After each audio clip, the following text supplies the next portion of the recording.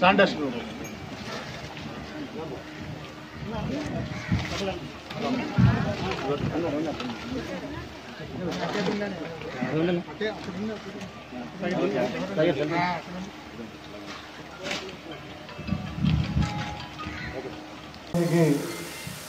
Rice అలాగే మన నిత్యావసర వస్తువులు కూడా నాయకు జరుగుతుంది.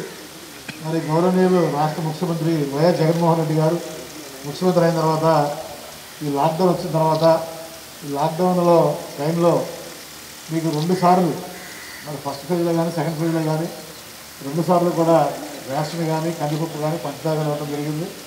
అలాగే వెయ్యి రూపాయలు ఇవ్వడం జరిగింది. ఇదే కాకుండా మరి శానిటైజేషన్ వర్కర్స్కి మీ అందరూ కూడా ఇన్సూరెన్స్ కూడా చేయడం జరిగింది నలభై లక్షల రూపాయలు. మరి పన్నెండు వేల రూపాయలు జీతం ఉండేదాన్ని పద్దెనిమిది వేలు కూడా పెంచారు.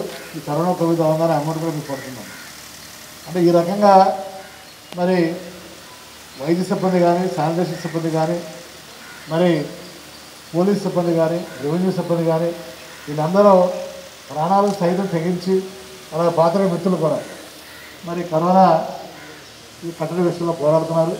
తప్పనిసరిగా ప్రజలందరికీ చెప్పేది ఏంటంటే లాక్డౌన్ పాటించండి.